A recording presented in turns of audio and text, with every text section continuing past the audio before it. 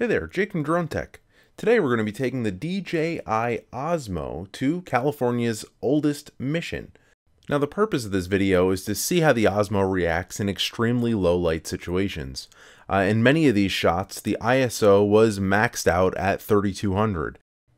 Now we did do some minor editing to the footage, we desaturated it a little bit and gave it a sepia look, but we did not do any noise reduction. So all of the noise that you see in the footage is original and uh, has not been reduced at all. Now we'll display an approximate ISO setting in the bottom left hand corner of the screen. The Osmo was set in shutter priority, so the ISO was variable throughout the footage.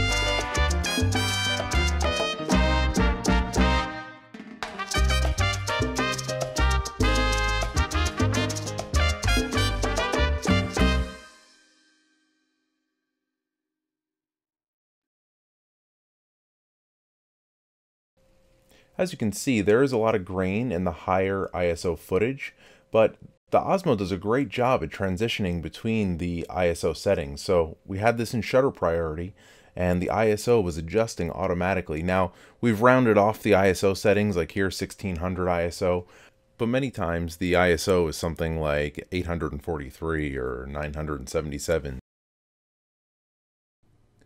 So our overall thoughts of the Osmo in a low light situation is that it, anything above 400 ISO produced such noisy footage that it was really unusable.